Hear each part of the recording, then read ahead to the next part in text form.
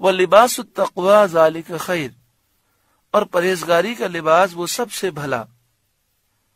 यहाँ फरमा दो लिबास हैं। एक वो लिबास जो बदन छुपाने के लिए, एक वो लिबास है जो जीनत के लिए, खूबसूरती के लिए कि इंसान वो लिबास पहनकर जब जाता है तो लोगों में उसकी इज़्ज़त होती है। मगर वो लिबास जीनत के लिए जो पहनना जायज़ है, उससे मुराद वो लिबास है जो शरीयत के मुताबिक हो। शरीयत के खिलाफ लिबास पहना जाए नवजुबिल्लाजालिक तो ये लिबास तो वबाल हो जाएगा। वह लिबास तकवा जारी का खैर, और परहेजगारी का लिबास वो सबसे भला। परहेजगारी का लिबास ईमान है, हया है, शर्म है, नेक आदतें हैं, नेक अमल हैं। और ये बेशक जीनत वाले लिबास से अफजल और बेहतर है। जालिक मिन आयात यजक्करून ये अल्लाह की निशानियों में से है कि कहीं वो नसीहत माने। यूरोप के अंदर जो माहौल है और जिस किस्म का लिबास औरतें पहनती हैं, एक तो बेपर्दा निकलना हराम और फिर जिसम की नुमाइश करना ये अलग हराम।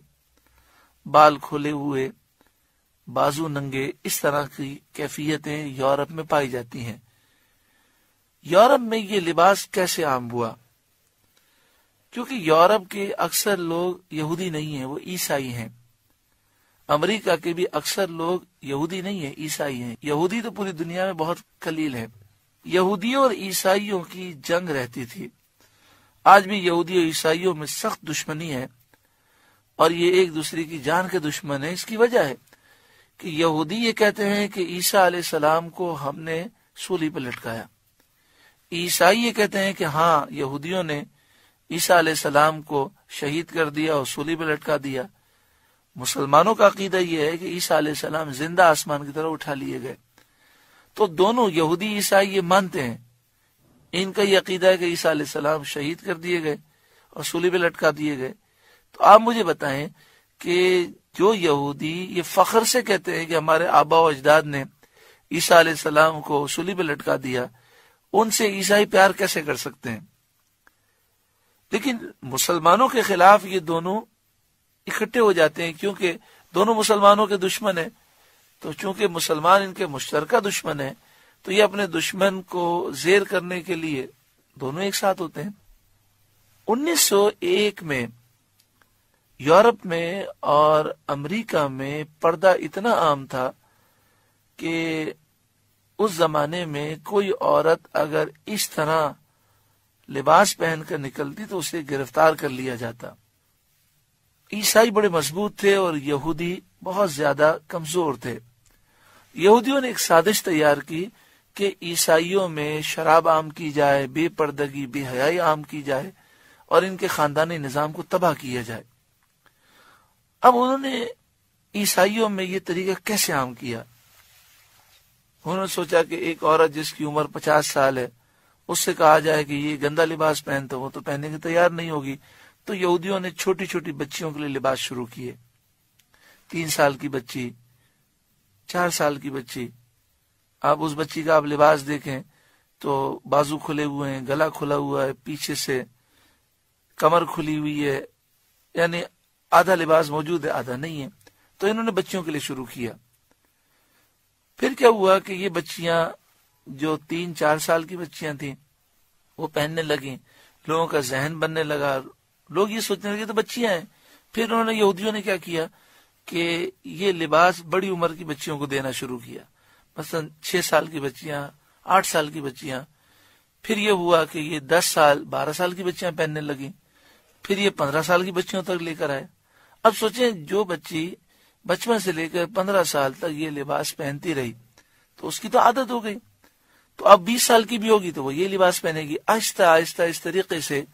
और फिर जब कोई पादरी इसके खिलाफ बात करता तो इन्होंने, यहूदियों ने अपने एजेंट छोड़े हुए थे, जो कहते हैं, ये तो दकियानुसी लोग हैं, ये तो हमें तरक्की से रोकना चाहते हैं।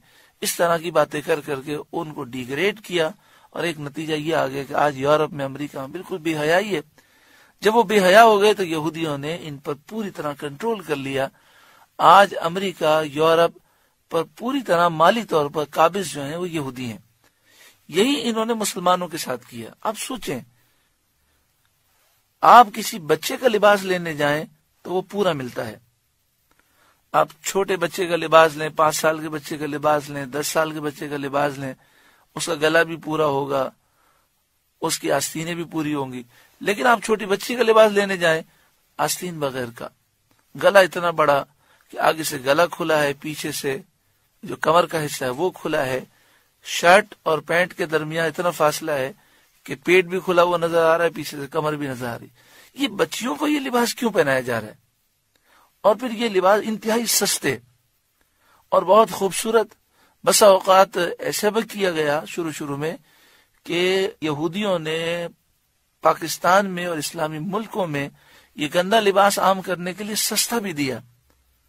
यानी जो चीज़ 500 की इन्हें पड़ती थी, इन्होंने 300 में बेची। और मुसलमान पागलों की तरह खरीदने लगा। उसने कहा, जी, बड़ी सस्ती है।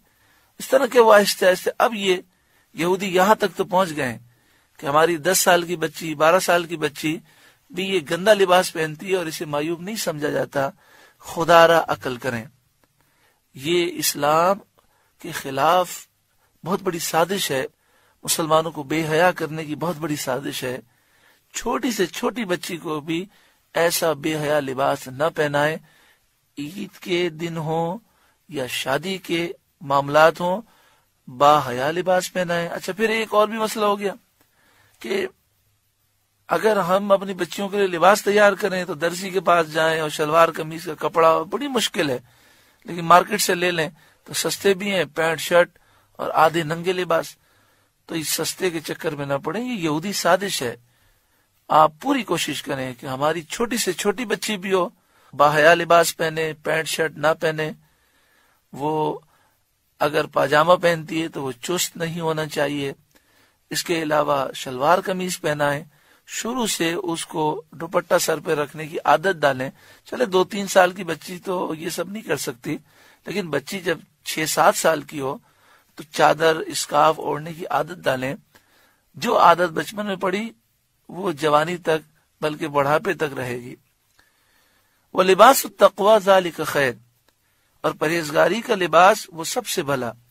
जालिक मिन आयात यजक्करून ये अल्लाह की निशानियों में से है कि कहीं वो नसीहत माने।